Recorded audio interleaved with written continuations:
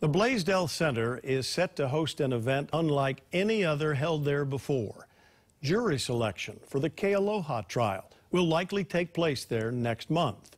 Manolo Morales joins us from the venue with details. Manolo?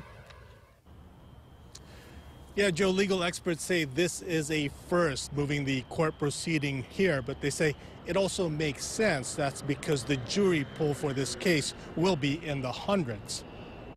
Former police chief Louis Kealoha and his wife, former deputy prosecutor Katherine K. Aloha, will be tried along with other police officers for corruption and obstruction of justice.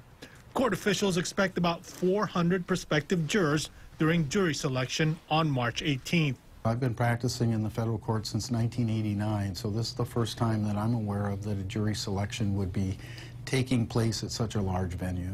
Logistically, Barbee says it only makes sense to hold jury selection at the Blaisdell's Pikake Room. The federal courthouse would have a hard time bringing that many people in, providing parking, and doing the security checks. A line of 400 people waiting to get in at um, 8.30 in the morning uh, you'd be lucky to have them all in by 11 o'clock. Barbee says questionnaires were sent out to 1,500 prospective jurors. A large number was sent out because many would not be able to serve due to hardship, being away from their family for what could be several weeks. There's also the enormous amount of publicity the case has already received.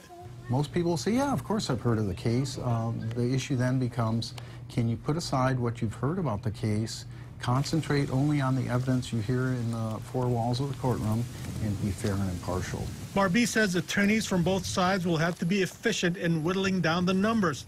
They will have a week to come to an agreement and pare down the 400 to 12 jurors and four alternates.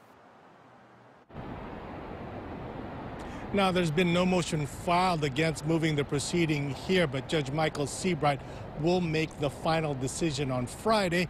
And if he goes ahead with it, once again, March 18th is jury selection. Trial is set to begin on April 1st. Joe, back to you.